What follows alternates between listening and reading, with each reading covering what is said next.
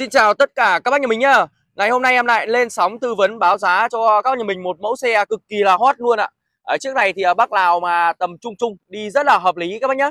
Ở chiếc xe mà hôm nay em muốn giới thiệu đến cho các nhà mình là một chiếc Honda CRV sản xuất năm 2010, trang bị động cơ là 2.4 số tự động máy xăng các bác nhá.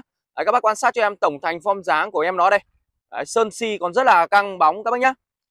Trước này thì à, uh, 5 chỗ ngồi và là gầm cao, rộng rãi, bền lành Đấy là các cái từ ngữ mà người ta hay nhắc đến Honda CRV các bác nhé à, Các bác nhà mình mua chiếc này về đi gia đình thì cực kỳ là hợp lý luôn ạ. À, Em đang quay à, tổng thành form dáng cho các nhà mình tham khảo đây.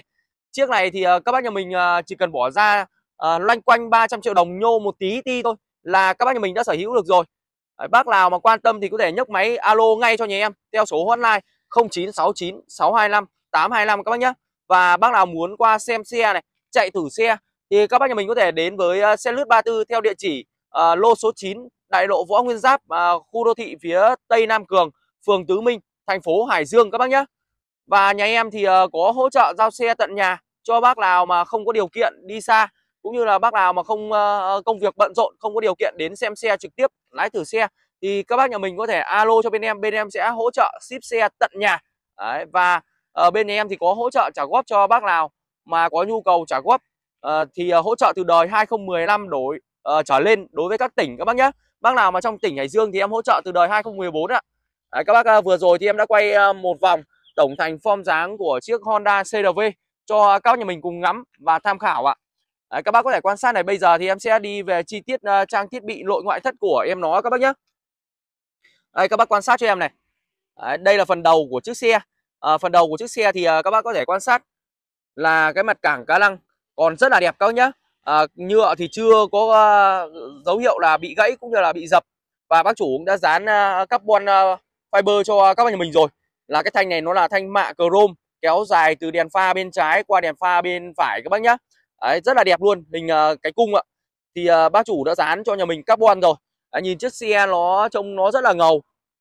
Đấy, và chiếc này thì uh, đèn pha được trang bị là đèn uh, uh, bi lông kết hợp với đèn halogen này có cả đèn gầm cho các nhà mình rồi. Và như em quan sát đây thì phần đầu xe thì ờ, có hai cảm biến cảnh báo va chạm cho các nhà mình. Đấy, hai cảm biến cảnh báo va chạm này.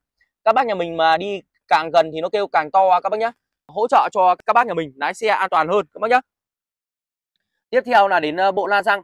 La răng là la răng đúc dạng đa chấu các bạn Đấy, la răng đúc dạng đa chấu và có kích thước con này có kích thước là 17 inch các bác nhé Đấy, 17 inch à, dàn lốp thì các bác có thể quan sát đây. Dàn lốp còn dày bịch luôn các bác ạ. Đấy, dàn lốp còn dày bịch luôn. Các bác mua về chỉ việc sẵn sử dụng thôi. Đấy, xin nhan đã được tích hợp trên gương rồi đây này. Và bốn tay nắm cửa mạ chrome các bác nhá. Bốn tay nắm cửa mạ chrome. Kính gì đây các bác ơi? Kính theo xe đây các bác nhá. Đấy, kính zin theo xe. Các bác cùng em à, đi về bên trong nội thất của em nó các bác nhá. Đầu tiên thì các bác à, ngắm cho em uh, tổng quan một lần này.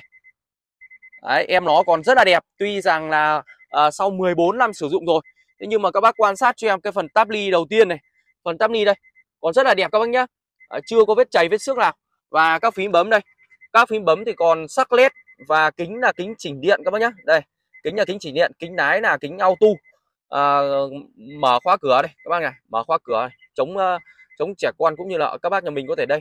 À, tính năng uh, khóa kính các bác nhá. Để không xuống được kính ạ. Và bên trong thì uh, các bác thể quan sát về ghế da đây ghế ra thì ghế là ghế chỉnh điện 8 hướng các bác nhá ghế chỉnh điện 8 hướng ạ. Đấy, 2 nẻ 10 thế nhưng mà em nó đã có ghế chỉnh điện rồi. Và các bác nhìn cho em cái má ghế này cũng như là da ghế này. Đấy, còn rất là đẹp và da ghế của ờ, uh, CLV này rất là cao cấp các bạn cao cấp mềm mại. Đấy, em sờ rất là mềm ngồi rất là êm các bác nhá. Má ghế thì chưa có dấu hiệu bị nhăn bị nhàu Đấy, bác chủ uh, tương đối là giữ gìn các bạn tương đối là giữ gìn lưng ghế đây. Đấy, còn đâu thì nhăn nhăn như này thì nó là do là cái da của CRV nó đặc trưng như thế các bác nhá.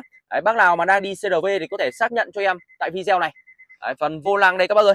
Đấy, phần vô lăng thì ờ, được trang bị là tăng giảm âm lượng này lách qua truyền bài và phím mốt các bác nhá.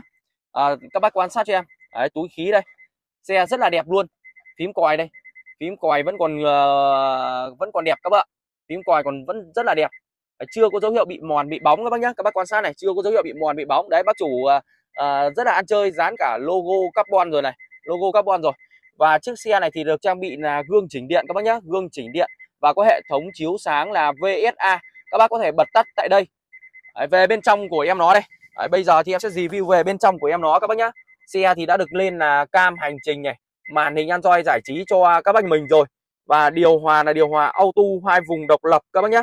Đấy, các bác ngắm cho em cái củ số của em nó đây. Đấy, các bác ngắm cho em cái củ số của em nó này. Rất là đẹp các bác nhá. Đấy, còn rất là đẹp luôn. Ghế da bên phụ đây. Các bác nhìn cho em cái ghế da bên phụ này. Nói chung là bên lái đẹp thì bên phụ cũng đẹp các bác nhá. Đấy, vì thật ra là ngồi bên lái là người ngồi nhiều hơn. Đấy, các bác nhìn cho em này. Đấy, các cái hộc để đồ nó vẫn còn rất là đẹp luôn. Đấy, rất đẹp xuất sắc các bác nhá. Phần trần đây các bác nhìn cho em này. Trần mà 11 14 năm rồi. Sorry các bác 14 năm sử dụng rồi. Thế nhưng mà vẫn còn trần zin theo xe đẹp căng như này các bác ạ. Trần zin theo xe rất đẹp luôn. Đấy, các bác nhìn này. Từng chi tiết một. Đấy, bác chủ rất là giữ gìn. Bác chủ rất là giữ gìn luôn các bạn. Dạ vâng các bác cùng em đi về hàng ghế thứ hai của em nó đây. Đấy, các bác có thể quan sát uh, uh, qua tổng thành một lần uh, hàng ghế thứ hai này các bác nhìn này.